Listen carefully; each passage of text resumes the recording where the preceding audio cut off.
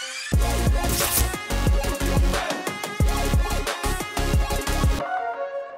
าละครับก็กราบสวัสดีคุณผู้ชมทุกคนด้วยนะครับยินดีต้อนรับเข้าสู่ช anel ของพี่หมอโอ๊ตฮะสำหรับในคลิปนี้นะฮะก็เป็นอีกหนึ่งคำถามที่มีหลายคนถามมาแล้วก็อยากให้พี่หมอทำนะฮะนั่นคือเรื่องโรคหลายบุคลิกครับผมอะเคยไหมฮะเคยไหมมันมีหนังอยู่เรื่องหนึ่งนะฮะมันคือเรื่องนี้ฮะ อะก็มีการนำเกี่ยวกับเรื่องของตัวโรคนี้นะฮะที่แบบเอ้ยมีคนหลายบุคลิกภาพนะฮะมีเหมือนกับมีหลายคนอยู่ในร่างเดียวกันอะเฮ้ยแล้วในความเป็นจริงอะมันมีหรือมันไม่มีกันแน่นะฮะแล้วเราจะมีวิธีวินิจฉัยอย่างไรว่าเฮ้ยเขาเป็นจริง ๆ หรือว่าเขาแค่แกล้งทำกันแน่นะฮะแล้ววันนี้เราไปทำความรู้จักกับโรคหลายบุคลิกกันดีกว่าครับผมสำหรับโรคนี้นะฮะในชื่อทางการนะฮะในภาษาอังกฤษเนี่ยมันจะมีตัวย่อว่า DID นะครับหรือว่า อ่า dissociative identity disorder นั่นเองนะฮะ ในชื่อเก่าเนี่ย บางคนจะอาจจะคุ้นชื่อเก่ามากกว่านะ เพราะว่าเขาเพิ่งเปลี่ยนชื่อมานะฮะ ชื่อเก่าก็คือเป็น multiple personality disorder นั่นเองนะฮะ ก็คือหรือว่า MID นั่นเอง แต่ว่าจริงๆ แล้วเกี่ยวกับเรื่องการเปลี่ยนชื่อพี่หมอไม่ลงลึกแล้วกัน เดี๋ยวเราไปดูที่เนื้อหากันเลยดีกว่าครับ ซึ่งตัวนิยามของโรคนี้นะฮะว่า เฮ้ย เราจะดูยังไงว่า เอ๊ะ เป็นคนที่มีหลายบุคลิกจริง ๆ หรือว่ามีหลายอัตลักษณ์นะฮะเขาจะบอกว่าจะมีบุคลิกท่าทางรวมถึงความทรงจำหรือประสบการณ์ต่างๆ ในชีวิตนะฮะที่ถูกแยกออกจากกันโดยสิ้นเชิงครับ เมื่อมีบุคลิกภาพอีกบุคลิกภาพหนึ่งถูกแสดงออกมา ในอีกบุคลิกภาพหนึ่งจะไม่สามารถจดจำหรือว่ารับรู้ได้เลยว่าอีกบุคลิกหนึ่งได้รับรู้อะไรมาเฮ้ยได้ฟังแบบนี้แล้วก็น่าสงสัยว่าเฮ้ยมันเป็นไปได้จริงเหรอวะที่แบบมันจะไม่รู้เรื่องเลยอะคือแบบเฮ้ยมึงคนเดียวกันนะเว้ยมึงสมองเดียวกันอะแล้วมันจะแบบแบ่งแยกได้แบบชัดเจนขนาดนั้นหรอมันจะแบบแค่ฮึบอะฮึบแล้วแม่งจะเปลี่ยนร่างได้เลยหรือเปล่าวะมันก็อาจจะไม่ใช่อย่างนั้นนะฮะอะแล้วเขาดูกันอย่างไร ซึ่งหลายคนเนี่ยอาจจะแยกเพื่อนตัวเองไม่ออกเลยฮะเช่นอะไรบ้างคือบางคนแบบว่าอยู่ตอนหน้าคนอื่นติ่มๆใช่ไหมพอแบบไปอยู่หลังฉากแม่งกลายเป็นเอโหเทียมเฉยเลยนะฮะกลายเป็นแบบเด็กก้าวร้าวอะไรประมาณนี้นะฮะซึ่งจะบอกว่ากลุ่มคนเหล่านี้ก็ยังไม่ได้ถูกจัดว่าเป็นโรค DID นะฮะซึ่งในข้อมูลของอามหิดลนะฮะหรือว่าทางรามานั่นเองนะฮะก็บอกว่าจริงๆ แล้วอัตลักษณ์ของคนหรือว่าบุคลิกของคนน่ะเมื่อเราเกิดมานะครับมันจะมีอัตลักษณ์เพียงแค่อัตลักษณ์เดียว หรือว่า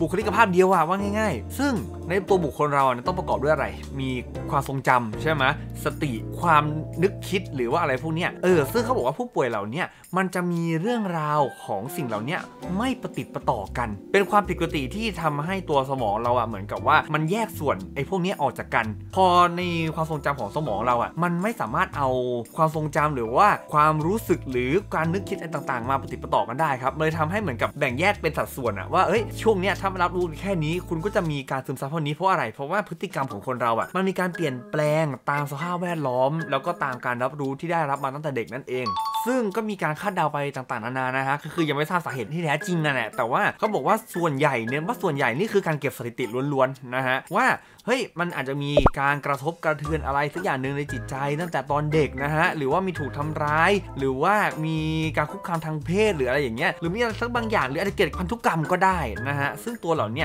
ทำให้ตัวสมองเราอะเหมือนกับแม่งช็อกเลยแล้วก็แบบตัดแม่งเลยนะฮะก็แบบทำให้บุคลิกภาพนะช่วงเวลาที่ถูกสะเทือนใจสะเทือนขวัญน่ะมันถูกแบ่งแยกออกมา นั่นเองครับ ซึ่งจริง ๆ แล้วมันเป็นเขาเรียกว่าเป็น defense mechanism ของทางสมองเรานั่นเอง defense mechanism คืออะไร คือกลไกป้องกันตัวเองนะฮะของสมองเหมือนกับว่า เฮ้ย ฉันเคยเจอเรื่องแบบนี้มาแล้วแบบไอ้เหี้ยแม่งรุนแรงมากกับรับไม่ได้ เอื้อไม่ไหวแล้ว สมองตัดเลยชุบป้องกันตัวเองเลยฮะว่าเอ้ยนั้นฉันก็ไม่คิดถึงเรื่องนี้ละกันฉันจะได้ไม่รู้สึกเศร้า หรือว่ารู้สึกแย่กันในสภาพร่างกายตัวเองนะเพราะอย่าลืมว่าเมื่อสภาพจิตใจได้รับผลกระทบนะฮะบางทีมันสามารถกระทบมาถึงสภาพร่างกายได้ด้วยเช่นกันนะใครว่าจิตกับกายไม่สัมพันธ์กันนะฮะเฮ้ยสัมพันธ์กันนะเว้ย ซึ่งการวินิจฉัยนะครับมันก็จะมีเกณฑ์วินิจฉัยสากลน่ะที่เขาเรียกว่า DSM-5 นะฮะก็ไปหาอ่านอินเทอร์เน็ตเอาแล้วกันภาษาอังกฤษนะฮะแต่ว่าไอ้ตัวเนี้ยมันจะมีเกณฑ์วินิจฉัย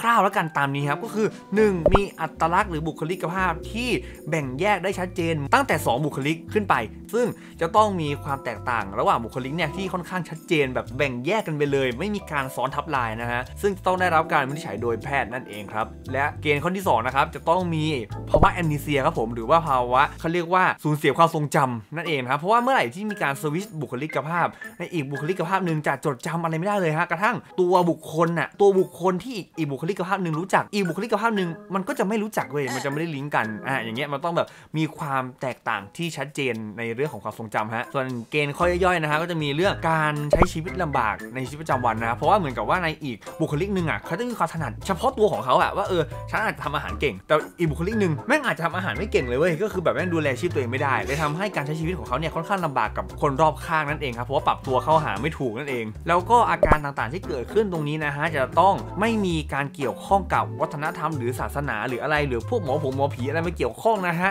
ประมาณว่าแบบเอ้ยเพราะโดนผีโค้งผีเข้าเลยแบบบุคลิกภาพเปลี่ยนไปเออไอข้อเนี้ยผู้ป่วยมันจะไม่มีตรงนี้ฮะแล้วก็อาการที่เกิดขึ้นเนี่ยจะต้องไม่ได้เกิดจากฤทธิ์ของยานะครับมันเป็นพวกสารเสพติดแอลกอฮอล์หรือว่ายารักษาโรคบางประเภทนะฮะถ้าเกิด มีอยู่ในข้อเหล่านี้ก็จะไม่นับเป็นเกณฑ์วินิจฉัยนั่นเองนะเขาก็เอา 5 ข้อนี้เป็นเกณฑ์ในการวินิจฉัยว่าเฮ้ยคุณเป็นโรค DID หรือว่าแบบบุคลิกภาพหลายบุคลิกในตัวเองนะฮะซึ่งจริงๆแล้วมันก็จะมีโรคทางจิตเวชที่มีความใกล้เคียงกับโรคนี้อีกหลายโรคนะฮะเช่นอะไรบ้าง อาจจะเป็นแบบ borderline personality disorder นะฮะอะไรพวกนี้พี่หมอไม่ขอลงลึกเกี่ยวกับโรคนี้แล้วกันถ้าอยากรู้ก็เมนไว้ใต้คลิปเดี๋ยวจะเอาโรคทางจิตเวชมาแชร์มาชำแหละให้ทุกคนฟังแล้วกันนะฮะแล้วก็มีอะไรอีกเช่นแบบ child abuse child abuse คืออาการคุกคามเด็กอะเออประมาณนั้นอะทำร้ายร่างกายเด็กมีกระทบจิตใจเด็กอะกลุ่มเหล่านี้ก็แบบเอ๊ะก้ากึ่งว่าเอ๊ะจะเป็น DID หรือเปล่าอะไรวันนี้ก็ต้องวินิจฉัยกันไปนะฮะซึ่งโรคเหล่านี้นะฮะก็ต้องได้รับการรักษาโดยจิตแพทย์นะฮะก็ต้องมีการพูดคุย แล้วก็มีการให้ยาในการรักษารักษาค่อนข้างนานอยู่แล้วนะฮะซึ่งพี่หมอ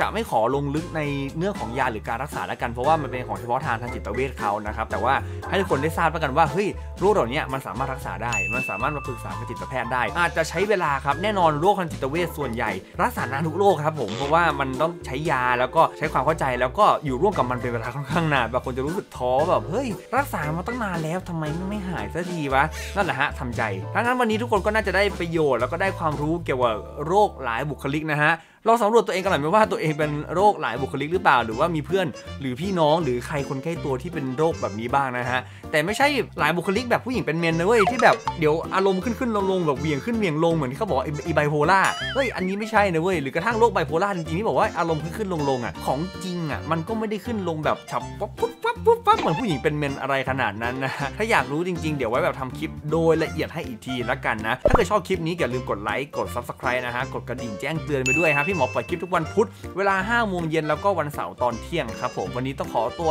ลาไปก่อนไว้เจอกันในคลิปหน้าครับผม สวัสดีครับ บ๊ายบาย